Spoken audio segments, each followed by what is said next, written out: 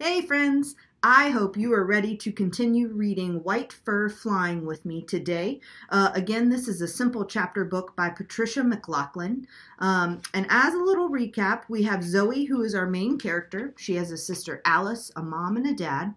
Her mom rescues and fosters Great Pyrenees dogs, which are giant white fluffy dogs. Her dad is a vet, and they have just gotten new neighbors, the Croft family. Um, Phillip is the little boy, and his great aunt is Phyllis, whom he's living with, and there's a great uncle as well, but he hasn't been named yet. Now, Zoe and Alice and their parents have two dogs right now that are um, May and Cody, and May is about to be adopted by another family. So let's see what's in store for chapters 5 and 6 for today. Car, said Alice, peering out the kitchen window. Car, said Lena. Mamma stood very still for a moment. Okay, she said. They're early.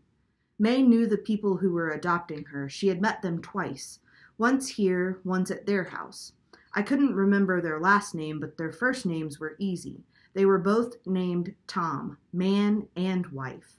How can that be? Alice asked. Two Toms? He's Tom and she's Tommy, said Mamma. Thomasina, I think.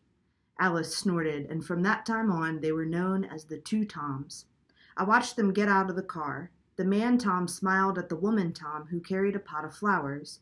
They walked up to the porch. May put her nose in the air and woofed. She was brushed. She was wearing her new green leather collar. Mamma opened the door. When May saw the Toms, she ran to them and wagged her huge feathered tail. May, the two Toms said. They often said the same thing at the same time, and it seemed to cut down on confusion.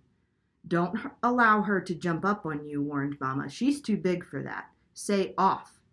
Off, said the two Toms. Off, said Lena loudly. Hi, Zoe. Hi, Alice, said the Tom woman. Here's her leash, said Mamma. She handed them a folder. And here's the paperwork you'll need for your vet a list of her vaccinations and early health records. You'll see she's healthy. The Tom woman leaned over and gave Mamma a kiss on the cheek. She handed Mamma the flowers. We thank you. We'll keep in touch, Claire. Call me if you have any questions, said Mamma. I'd like to hear how she's doing. She's a good girl.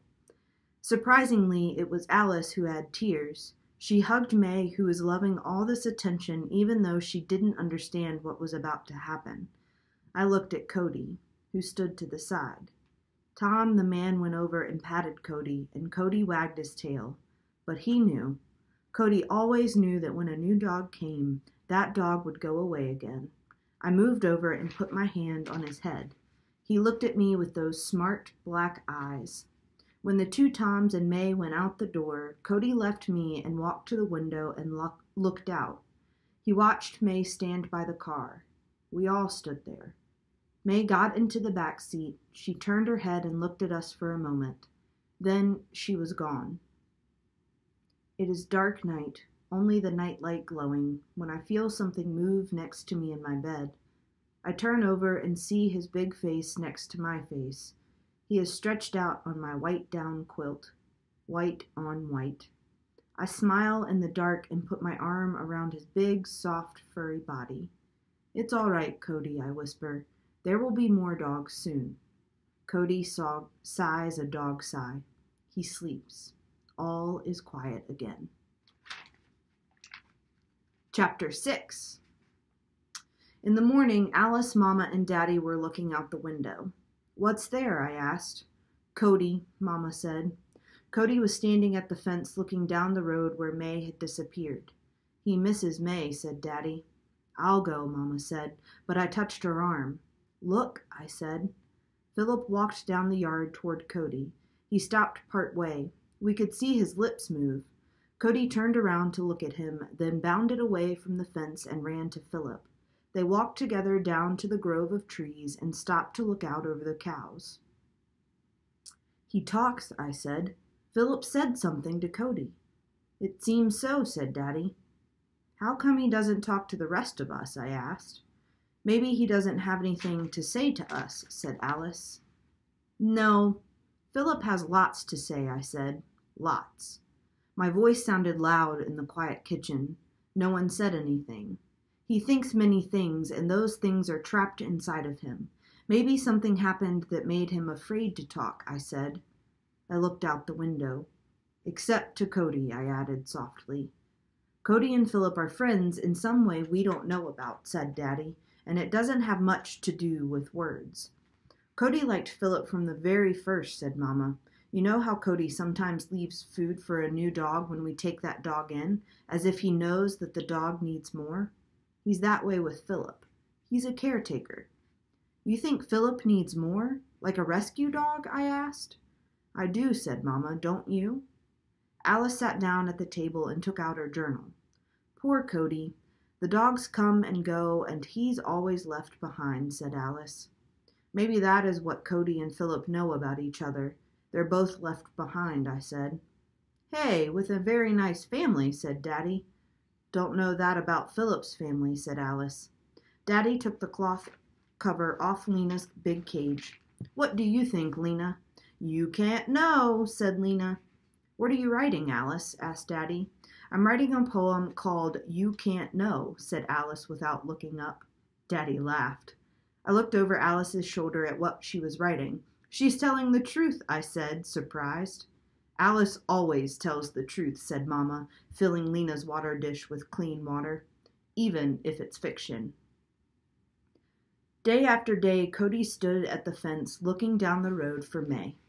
And day after day, Phillip came on his own to stand with Cody, sometimes getting him to play and run.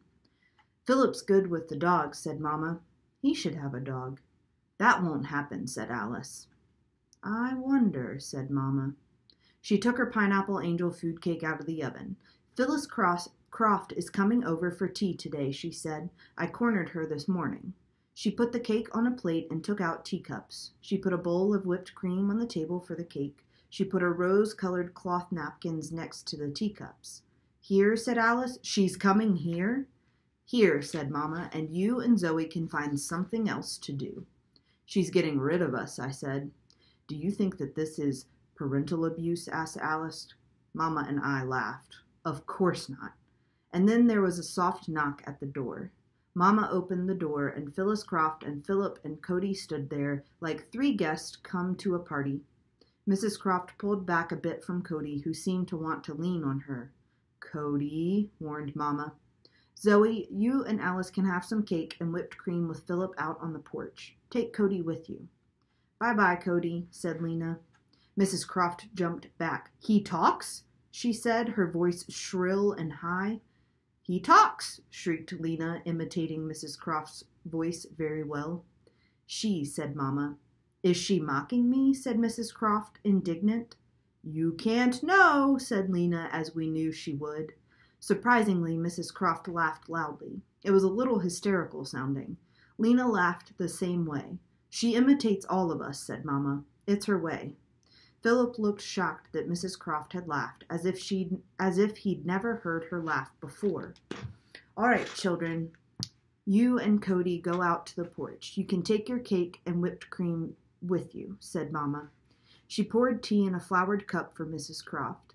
We all shuffled out carrying cake, Phillip still staring at Mrs. Croft. After a minute, the door opened and Cody came out too. We sat down at the porch table, Cody close to Phillip. We piled whipped cream on our cake. It was quiet as we ate. Yum, I'm not talking, said Alice. Me neither, I said.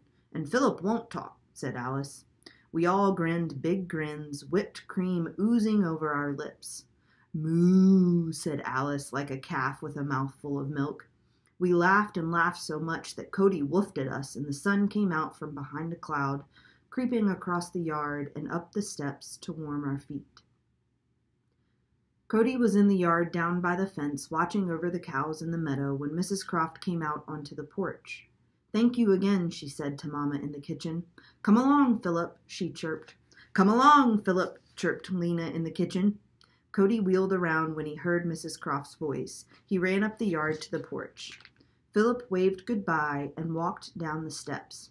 Cody nosed Mrs. Croft's hand, and startled, she pulled her hand back. But then she reached out and let Cody sniff her. Mrs. Croft looked down at Phillip and said something I couldn't hear. Phillip smiled at her but didn't speak. Alice was closer to her than I was. What did she say to Phillip? I asked Alice. Alice smiled. She said, Is that really how I sound? And that is the end of chapter 5 and 6 for today. Tune in tomorrow for chapters 7 and 8.